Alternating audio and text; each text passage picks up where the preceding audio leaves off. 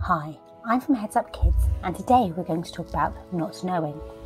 Everybody has worries sometimes, whether you're 5, 9, 14, or 40.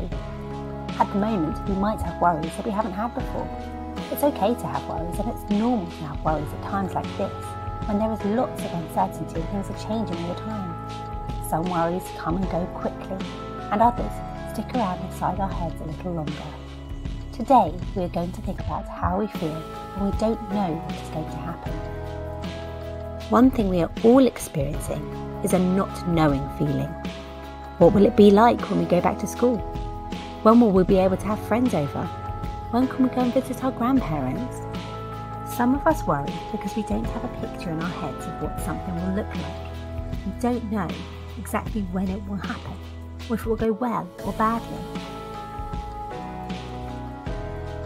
It can feel scary when you don't know. One of the hardest things about the pandemic is that we don't know when it's going to end, and that difficult feeling is the same for children and adults. That feeling of not knowing can affect us in all sorts of ways. It can make it hard to concentrate, we can feel agitated or on edge, we might feel like things just aren't right, we might feel teary or sad, we might get tummy aches or headaches.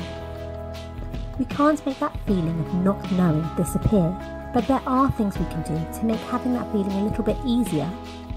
When we don't know what will happen in the future, it can help to plan things now, like what we'll do after we finish our schoolwork or the activities we'd like to do at the weekend.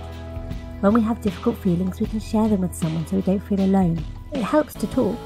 Sometimes all we need is a grown up who can listen without giving us advice or telling us what to do. And if it's hard to find the words, we can express those feelings by drawing, writing, dancing, or singing.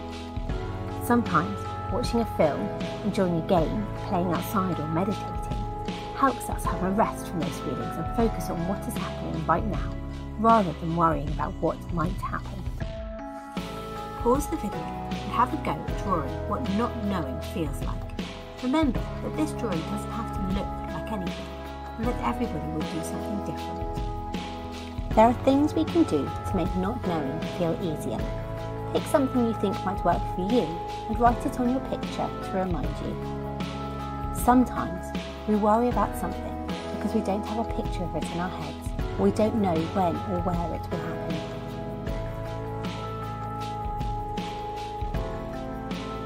When we have that not knowing feeling, it can help to plan our days.